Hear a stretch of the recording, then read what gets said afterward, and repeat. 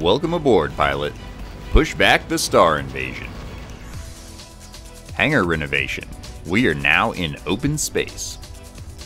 The new event in War Robots is open to all players qualified at level 5 and above.